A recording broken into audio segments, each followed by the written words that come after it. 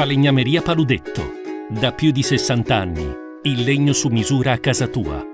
Mister Paolo Vanolli, hai detto che in merito al tuo rinnovo sarà un anno zero questo, puoi essere più precisa?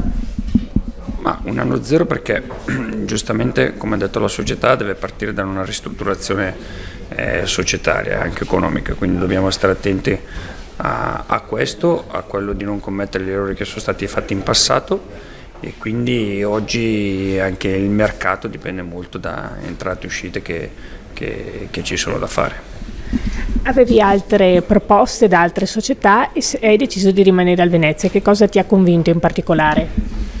Ma come ho già detto prima ai tuoi colleghi, sicuramente la parola progetto. Io penso che per un allenatore avere a disposizione la, la, la, possibilità di essere protagonista di un progetto vale di più di tante altre cose. Proposte ne ho avute, ho sempre, eh, ho sempre fatto sapere tutto alla società perché giustamente ero sotto contratto con la società, la società ha sempre risposto di no e oggi sono contento di portare avanti questo progetto.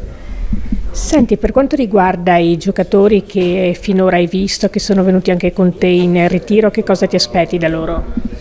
Ma mi aspetto un'ulteriore crescita, mi aspetto un'ulteriore crescita perché l'anno scorso da gennaio in poi abbiamo costruito qualche cosa, è vero che siamo andati a perdere soprattutto dietro dei giocatori importanti e, e su questo siamo attivi sul mercato per riuscire a raggiungere eh, delle priorità per me importanti, però devo dire che il resto del gruppo eh, conosce benissimo già il lavoro, conosce benissimo quello che è la mentalità dell'allenatore e sicuramente questa è una buona base di ripartenza. Cosa non poco importante, parli praticamente solo italiano ora con i giocatori. Ma sì, era un aspetto su cui battere è importante. Siamo in Italia, bisogna parlare italiano, io penso che uno straniero bisogna aiutarlo, ma anche lui si deve aiutare a imparare la lingua. Però io penso che oggi i giocatori che sono arrivati quei pochi che sono arrivati, vabbè, Ghichier parla benissimo italiano, beh, Matteo Grandi è un italiano e devo dire che Jay è arrivato con una forte mentalità, la voglia di imparare non solo sul campo ma anche fuori. Ultima cosa, sul modulo dal 352 hai sperimentato un modulo diverso?